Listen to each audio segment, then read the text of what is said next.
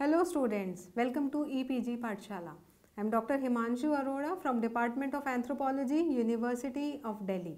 Today, I am going to speak on the module Obesity and its implication, Physical and Psychosomatic Health from the paper Applied Anthropology. The learning objectives of the module are to know and understand various aspects associated with obesity, to develop an understanding about the anthropometric methods of assessing obesity, to understand different non-anthropometric methods of assessing obesity, to know about the physical and psychosomatic implications of obesity. First of all, we will discuss briefly about obesity and overweight. Weight is gained more frequently at certain ages or physiological periods. In women, this is most likely after the completion of growth at about the age of 20 years during pregnancy and after menopause. Men tend to gain weight between the ages of 25 and 40 years. It has been shown that person overweight as children, teenager or young adults are likely to remain or become more overweight throughout life. Fat accounts for a higher percentage of total body weight in females than in males at all ages. Body fatness for both sexes increases with age. In adult life, it increases at a faster pace for men than women. Yet, women at all ages are on the average fatter than men. Overweight can be defined as the ratio of actual weight to average or desirable weight specific for age, sex, height and body build. An individual may be overweight on account of musculature or bony structure rather than excess fat. So, that overweight and obesity are not necessarily synonymous. Obesity is defined as excessive body fatness. Obesity has always been a major public health problem. Its prevalence in the world has increased in the last few decades, affecting both children and adults in all ethnic groups and populations. It is a complex interplay between gene and environment that involves excessive accumulation of fat in body. Over the past few decades, obesity has gained a lot of attention not only in terms of research findings but also due to its epidemic nature that poses a negative risk over health and society.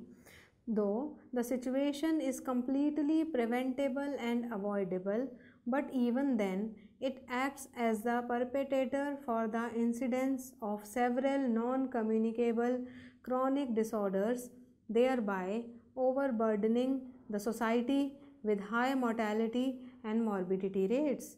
Multiple factors contribute to the onset and progression of obesity. These are lifestyle, lack of physical activity, overeating or unhealthy eating habits, genetic predisposition and family history, environmental factors, personal attributes, lack of willpower, assessment of obesity.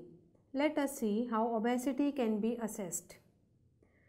Since the component of obesity that can be reduced is fat, so the determination of relative fatness is of practical significance. Obesity can be measured in many ways. Some methods are quite complex such as densitometry or hydrometry or and, and the determination of whole body potassium content. Others are relatively simple including measurements of subcutaneous skin folds and soft tissue x-rays each method has its own advantages and disadvantages and the appropriateness and scientific acceptability of each method will depend on different situation. The assessment methods often measure different aspects of obesity, for example, total or regional adiposity. They also produce different results when they are used to estimate morbidity and mortality.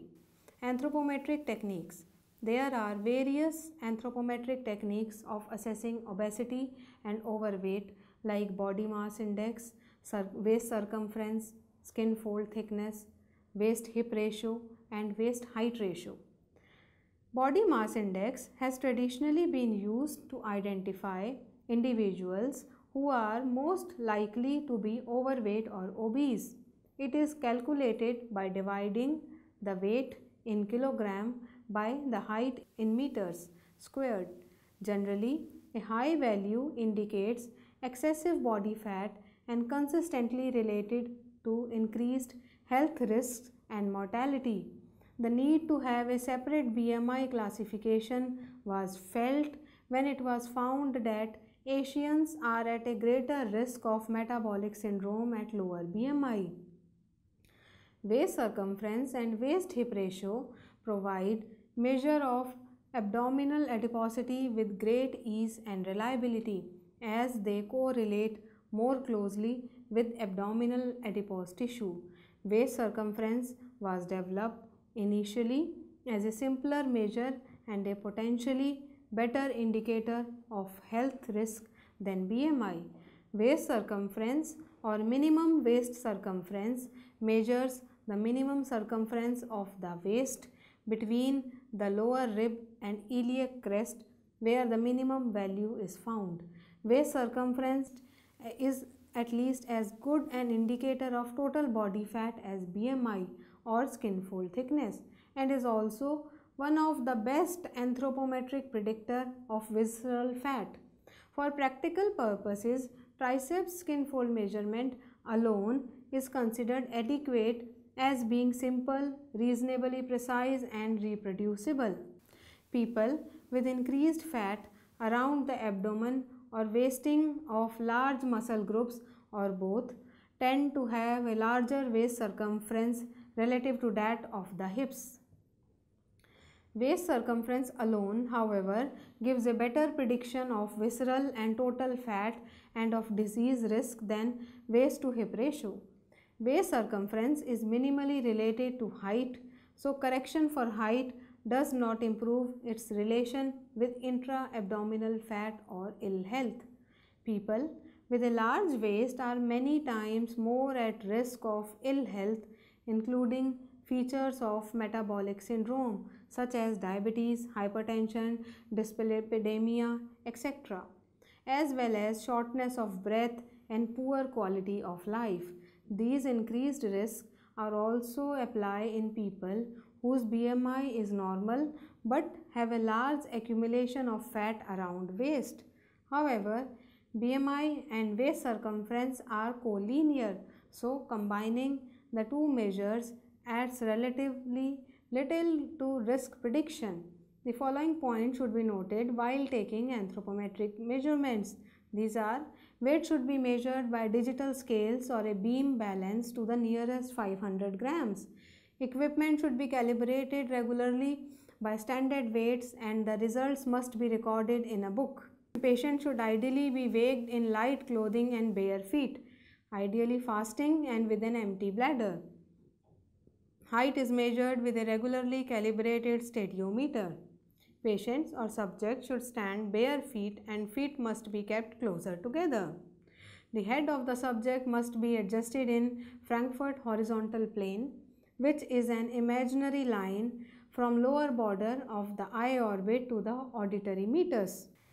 If a participant or subject cannot stand, for example, is confined to a chair or bed, BMI can still be derived from special equations using arm span or lower leg length instead of height. Waist circumference should be measured between the lower rib margin and the iliac crest wherever found minimum with a horizontal tape at the end of gentle expiration. Waist circumference measurement at the umbilical level is not reliable because sagging of abdominal skin occurs in very obese subjects or those who have lost weight previously. During waist circumference measurement, participant should be asked not to hold in their stomach. a constant tension spring loaded tape device reduces errors from over enthusiastic uh, tightening during measurement. Tricep skin fold measurement alone is considered adequate as being simple, reasonably precise and reproducible. Obesity can also be measured using non-anthropometric techniques such as densitometry, imaging and bioelectric impedance. Firstly, let us discuss about densitometry or water densitometry. Total body fat was classically measured by densitometry based on the Archimedes principle of water displacement assuming just two body compartments model that is fat and fat free tissue. Under this principle, if two individuals of the same weight on land have different proportions of body fat and lean tissue, the one with more body fat and less lean tissue would weigh less underwater. Densitometry requires underwater weighing facility and is time consuming and expensive. Furthermore, many people would not likely to be submerged in water. Densitometry therefore cannot be used routinely. It also does not indicate body fat distribution. Now, let us discuss about body imaging. In the past decade, new imaging techniques such as computed tomography and magnetic resonance imaging allow discrete deposits of body fat to be imaged. Specific fat deposits can be measured including the visceral fat deposits. These relate more strongly than subcutaneous fat to metabolic abnormalities. Fat in other structures such as the liver or muscle cannot be quantified easily. Imaging is very expensive and can be problematic for people who are claustrophobic and also carries risk of exposure. Precise and accurate measurements of regional fat mass can be estimated from two-dimensional transverse multiple slices.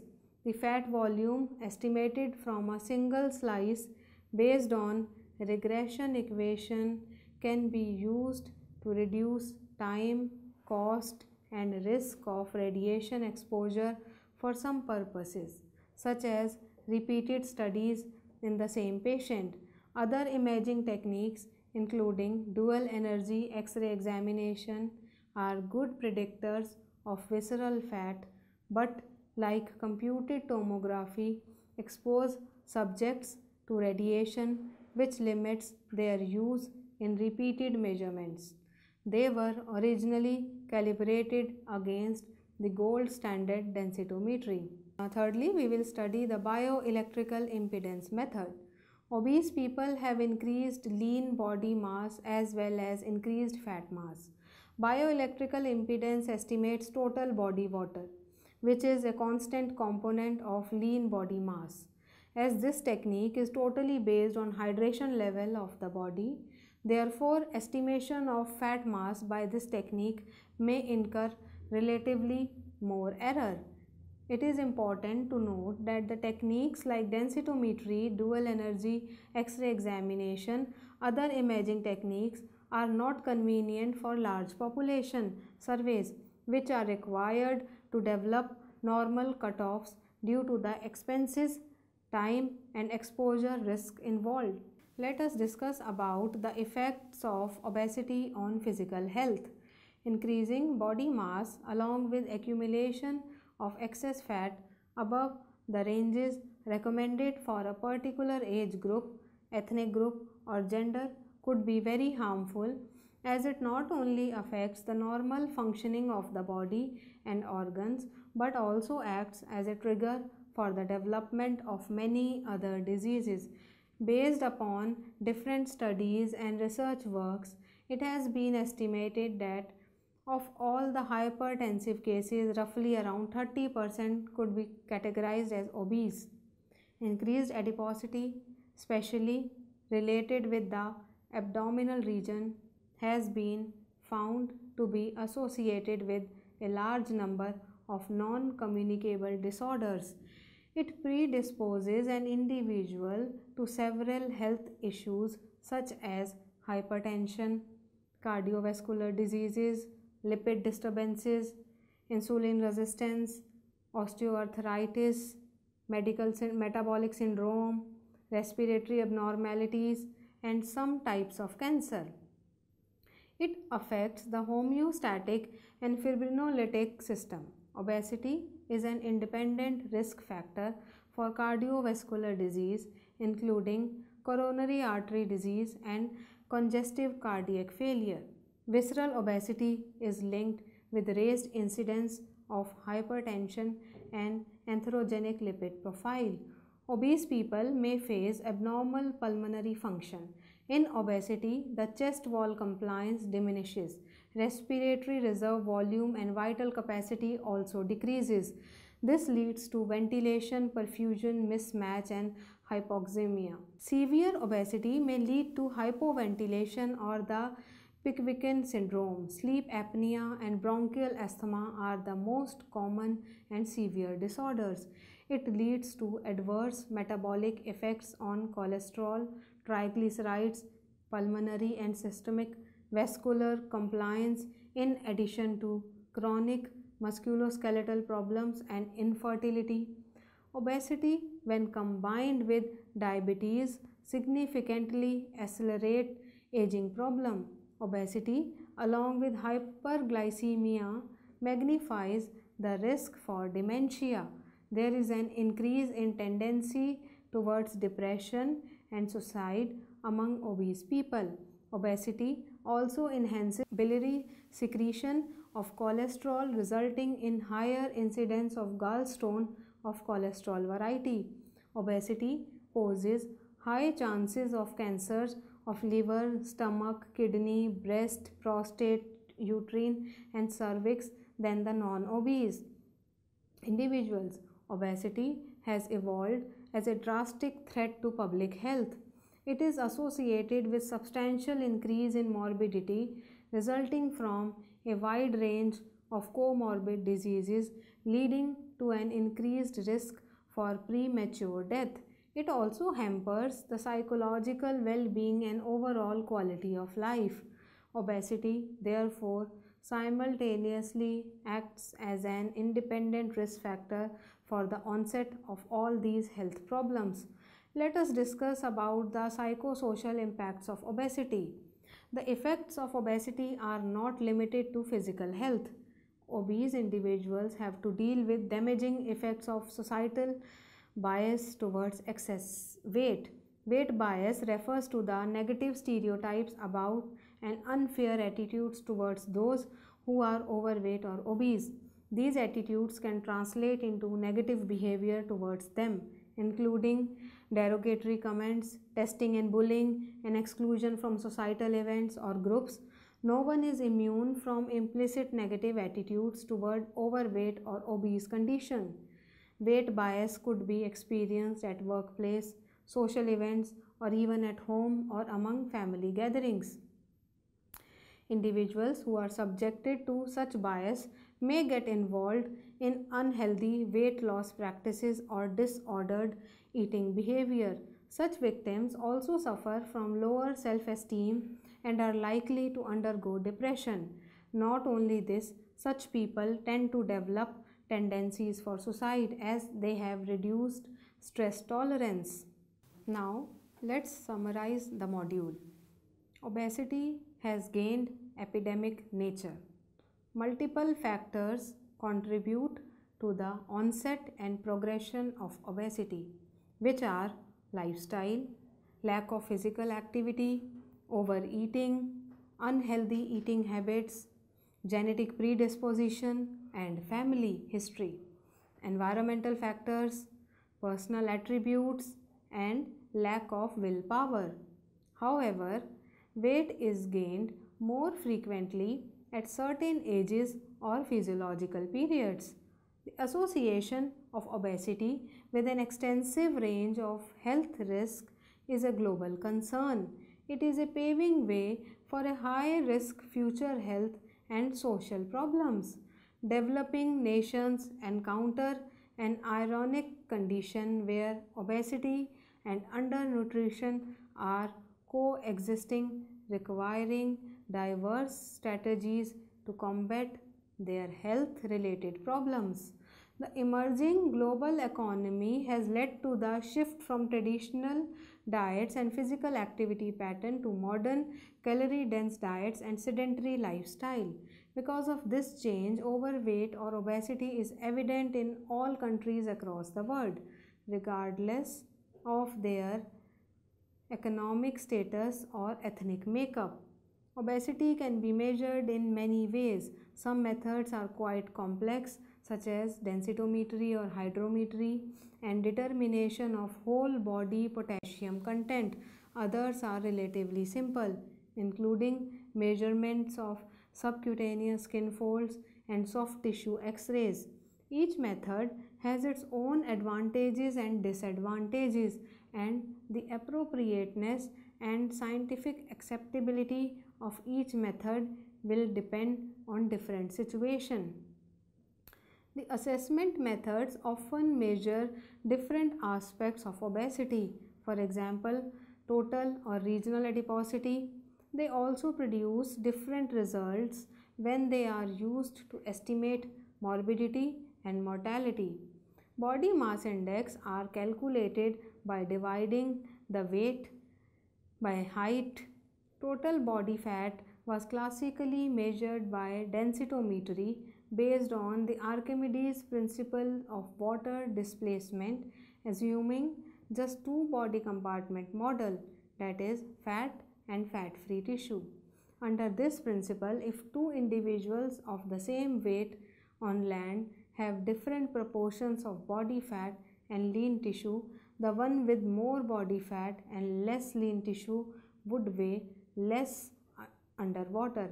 In the past decades, new imaging techniques such as computed tomography and magnetic resonance imaging allows discrete deposits of body fat to be imaged.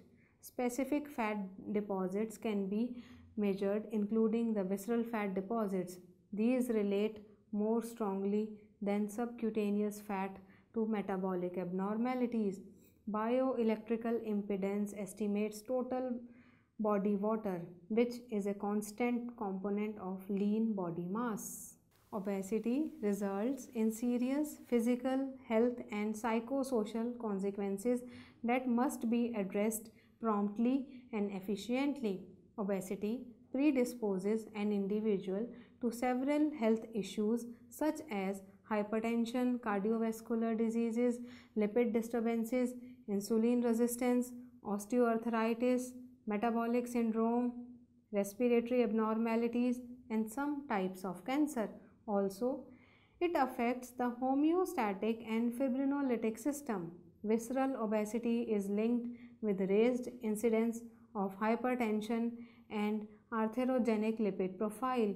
In obese individuals, the chest wall compliance diminishes leading to ventilation perfusion mismatch and hypoxemia.